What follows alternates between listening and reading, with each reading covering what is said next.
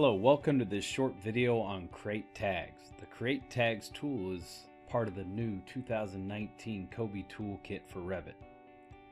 To demonstrate this, I'm going to select one window in the model here. I'm going to come up to the Kobi Toolkit ribbon. I'm going to go to QA Model Review and I'm going to select Create Tags. It comes up with the default one in here. And what I'm going to do is I'm going to change this. I'm going to call this one Windows. Then I'm going to go in and select Windows from the category. The tag orientation is going to be horizontal.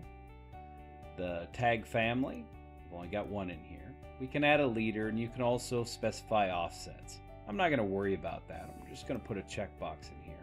And I'm going to save this so I can use it later on. So I'm just going to save this and I'm going to call this one Windows. Go OK.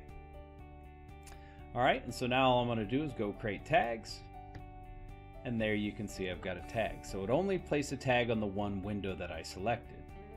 Now what I'm going to do is I'm going to come up here again. I'm going to go to the QA model review. I'm going to select create tags. This time I'm going to put a checkbox in Windows.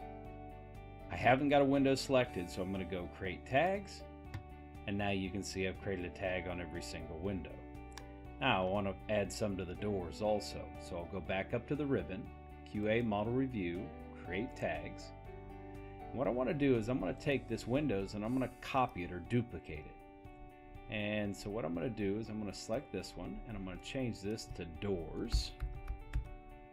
And I'll select doors from the drop down list for the category, the horizontal, tag orientation, and the tag family.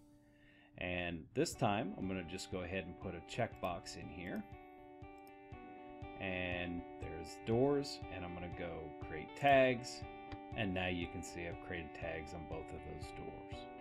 This concludes this short video on create tags. I hope you enjoyed it and thanks for watching.